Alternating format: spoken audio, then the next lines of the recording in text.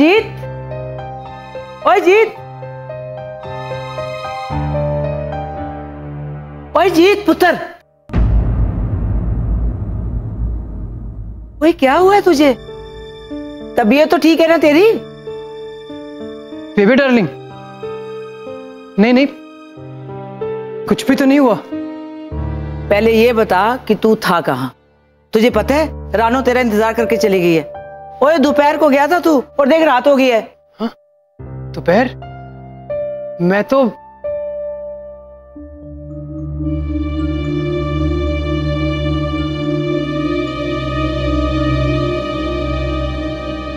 Really ये तो रात हो गई। बेबे मैं ओए क्या हो गया तुझे?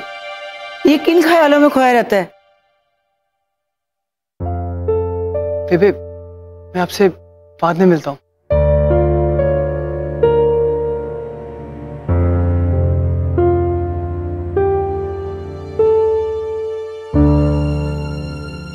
लगता है रानो को लेके परेशान है। अब बताओ जरा, शादी रानो की है? और होश इसके उड़े हुए हैं।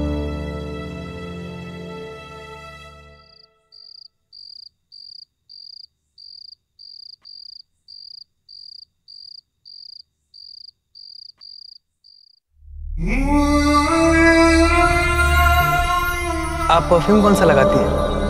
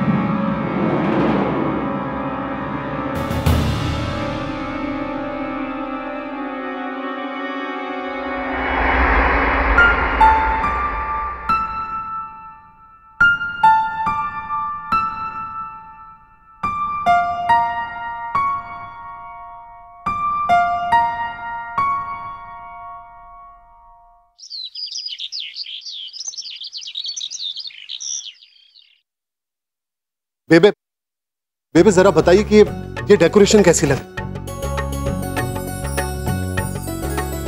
वो जो मैंने नेट पर देखा था ना वैसा तो बिल्कुल नहीं है। क्या बेबे आप भी ओए बात तो पूरी होने दे। ये देख ये ग्रीन रेड और जो लाल वाली है ना ये तो कॉमन रंग है। ये है ऑर्किड बहुत अच्छा है। आइए रमेश जी। बलराज वीर जी हैं। आंटी जी पापा जी तो स्टडी रूम में बुला दूँ? नहीं मैं वहीं मिल लेती हूँ। ठीक। आइए रमेश जी।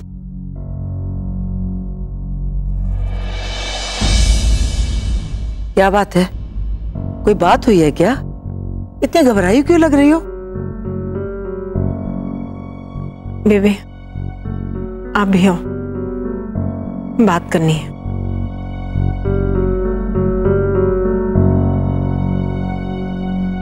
क्या हुआ क्या पर जाए जी? वो बात ये है वीर जी। मुझे लगता है रानो इस रिश्ते से खुश नहीं है।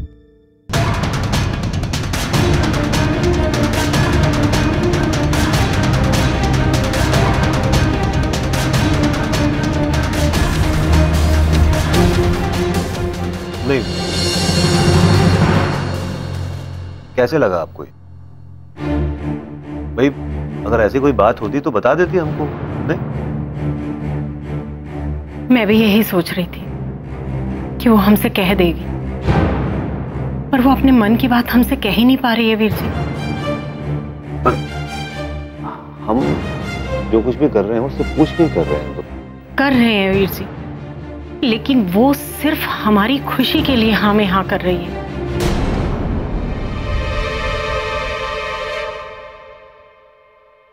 दरअसल उसके मन में कुछ और है। क्या कह क्या रही हैं आप? मैंने भी उससे कुछ परेशान देखा था पर सोचा शायद शादी की वजह से नर्वस है। लेकिन कल रात कल रात वो जिस तरह मुझसे लिपट कर रोई, मेरा तो दिल ही बैठ गया। मैं समझ गई। समझ गई कि कोई बात है जिसे वो मन में दबा कर बैठी है और वो बोल नहीं पा रही।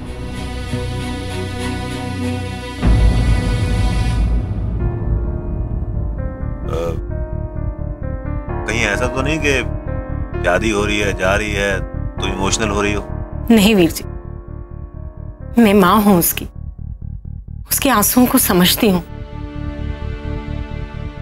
वो इसलिए नहीं रो रही कि वो एक घर या हमें छोड़कर जा रही। बल्कि वो इसलिए रो रही है क्योंकि क्योंकि? क्योंकि कुछ और है। कुछ और है जिसे वो खोना नहीं चाहती।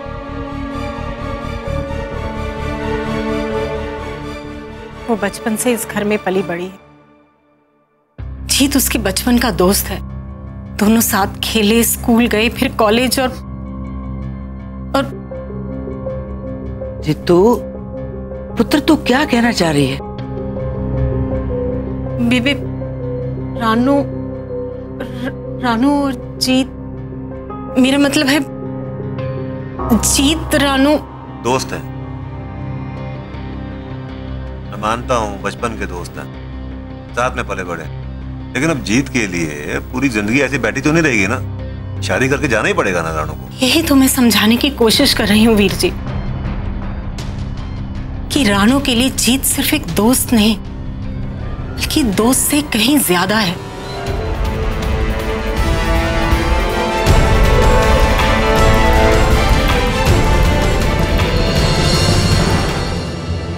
मुझे पहले भी इस बात का एहसास था। लेकिन मैंने नजरअंदाज कर दिया।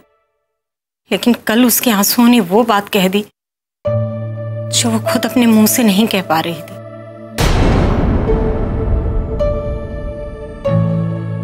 वीर जी, वो सिर्फ़ इसलिए रो रही थी, क्योंकि वो जीत से बिछड़ना नहीं चाहती।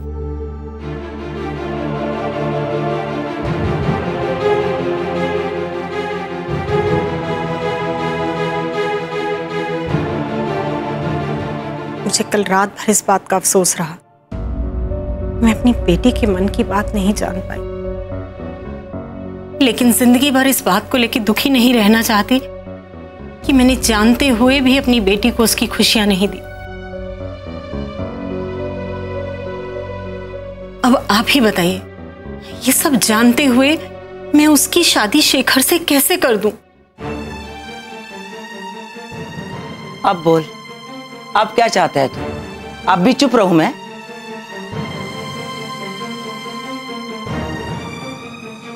रितु, पुत्र दरअसल गलती हमारी है। हमें ये बात पहले पता थी कि रानो जीत को बहुत चाहती है।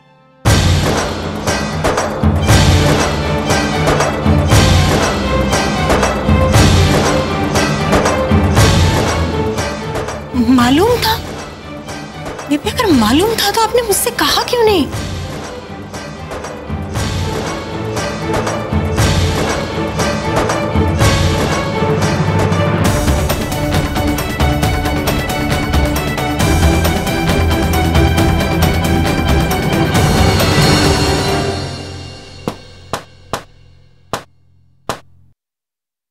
आपकी आँखों में हमारे लिए आँसू। शुक्रिया।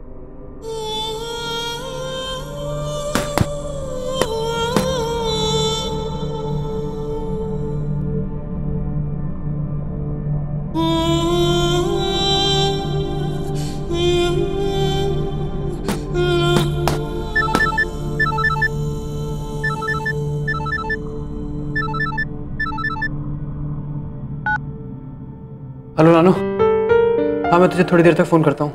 प्रैक्टिस कर रहा हूँ लेकिन जी अरे बात तक नहीं कर रहा है। हो क्या गया इसको? पहले तो कभी ऐसा नहीं किया। अब आप ही बताएँ वीर जी कि हमें क्या करना चाहिए? ये जानते हुए भी कि रानू शेखर से शादी करके खुश नहीं रहेगी? उसे शादी के लिए मनाना चाहिए या नहीं नहीं सवाल ही नहीं उठता। हमारे लिए राणों की खुशी से बढ़कर कुछ नहीं है, परजाई जी। और अगर वो इस शादी से खुश नहीं है तो नहीं होगी ये शादी। मैं सिर्फ़ ये सोच रहा हूँ कि प्राणों और जीत जीत रानू की पसंद है, वीर जी। लेकिन मैं ये भी आपसे कैसे कहूँ कि आप रानू को अपने घर की बहू बनाए। हो सकता है आप लोग रानू को जीत के काबिल ना समझते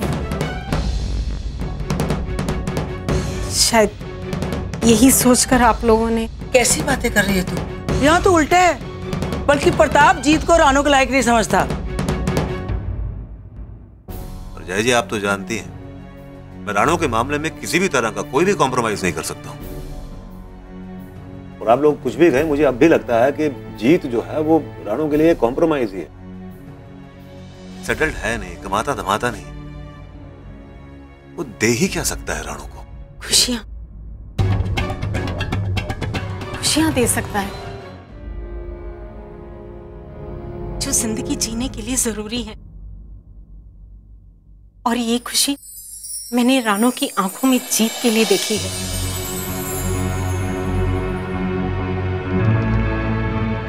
फिर माँ को भी क्या चाहिए? वो भी यही चाहती है कि उसकी बेटी खुश रहे। अगर आप लोगों को एतराज़ ना हो और अगर आपको रानो पसंद हो तो मैं इस घर की बहू के लिए, जीत के लिए अपनी बेटी रानो का रिश्ता रखती हूँ। क्या आपको मंजूर है।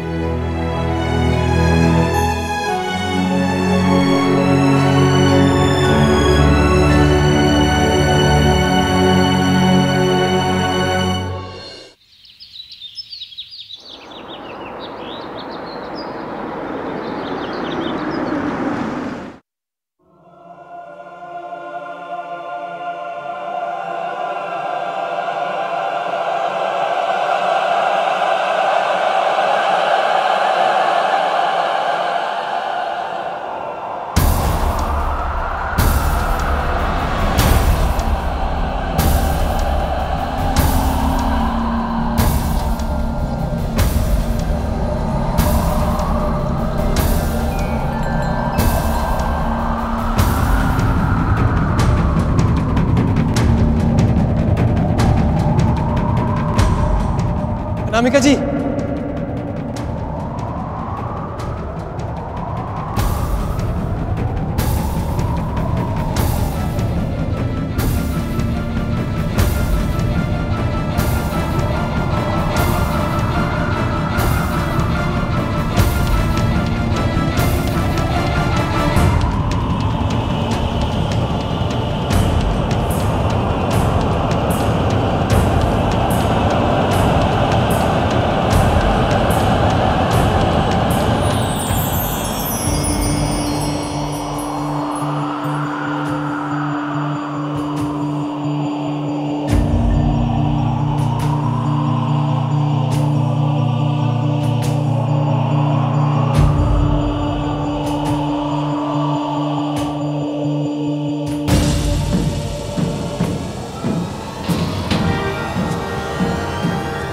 मैं जानता हूँ आप यहीं पे हैं। आपकी गाड़ी बाहर ही खड़ी है।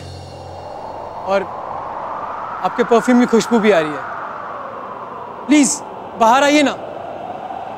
आप छुप क्यों रही हैं मुझसे? आपके घर में भी आपसे मिलने का इंतज़ार करना पड़ेगा। बस करिए नामिका जी। बंद करिए ये इंतज़ार कराने का खेल। देखिए, मुझे छुपके छुपाने की आदत नहीं है। जो बात होती है, साफ़ मुँह पे कहता हूँ। और आज आज भी कोई बहुत ज़रूरी बात करने आया। पता नहीं पता नहीं क्या हो गया मुझे आपसे मिलने के बाद। कुछ समझ नहीं आ रहा, लेकिन लेकिन कुछ हुआ है। आप प्लीज़ बाहर आइए ना। लो। अब आप बाहर भी नहीं आ रही। और मैं पागलों की तरह बार बार यहाँ चला आता हूँ आपसे मिलने। जबकि मैं जानता भी नहीं आपको ठीक से।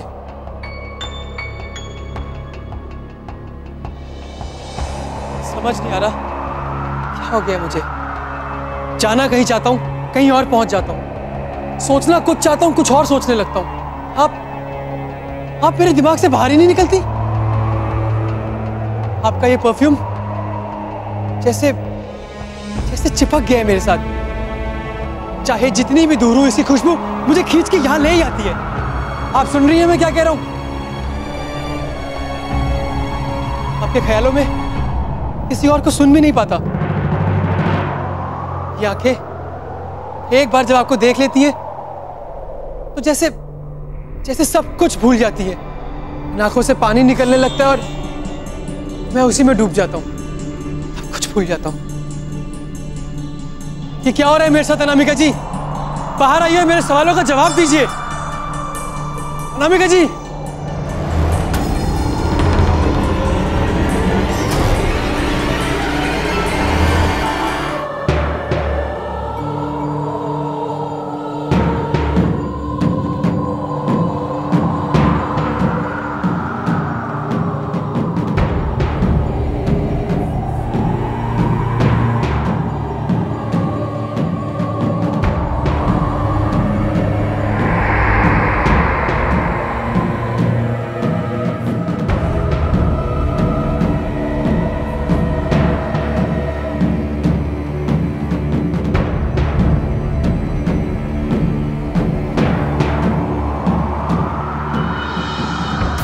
मेरे सवालों का जवाब चाहिए नामिका जी। मैं मैं इस उलझन से निकलना चाहता हूँ। अपना नंबर छोड़ के जा रहा हूँ आपकी डायरी में। प्लीज़, कॉल कीजिएगा। इंतज़ार करूँगा।